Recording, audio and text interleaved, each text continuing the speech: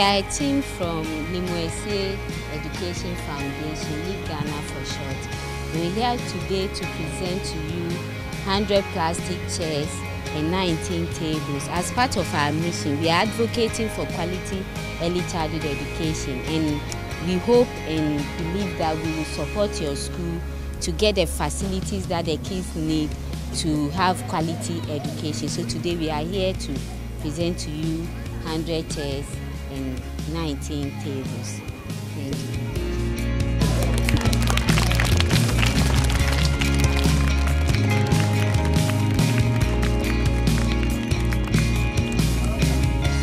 Uh, on behalf of my SMC PTA and the teachers and myself, we say a big thank you for this wonderful donation.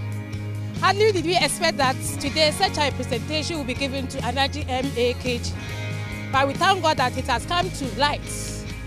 We promise that whatever is being given to us, as you hope for quality education, we are going to put it into good use so that quality education will be given to these children and they'll get a better foundation to have a better future in the near future.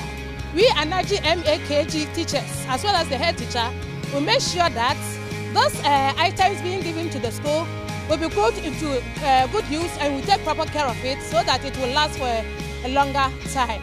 We once again say a big thank you. Long live, live Ghana, long live, live. We also pray that the Lord will strengthen you from grace to grace and from strength to strength. We are most grateful. Thank you.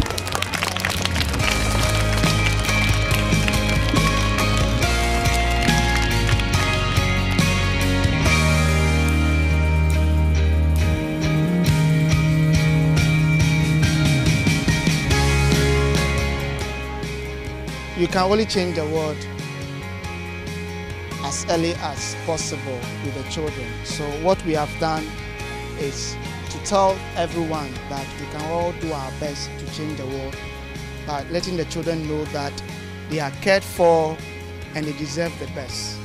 And I think it's also a call to the government to support these initiatives and also give more room for private intervention in our educational system.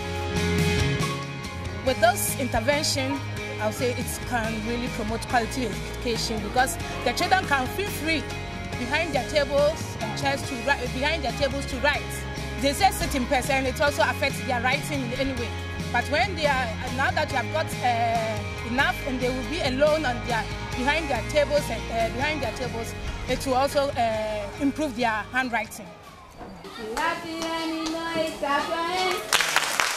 People finish school and they end up writing remedials. Why? It's because the foundation is not proper. And in Ghana, we think the foundation is, is, is, is not important, so we neglect it.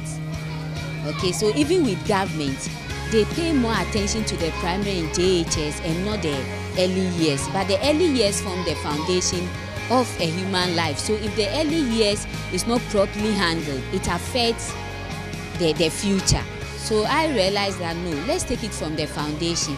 But how can we do this? Some of us has to come out and advocate for quality early years education. So it's a start and we are hoping that others, other philanthropists will come in and support this vision so that we can change a lot of uh, government sector uh, early childhood schools. As you can see, they don't have a playground. So our next project is to give them a playground. And after this school, we will adopt another school in Takoradi to also reform.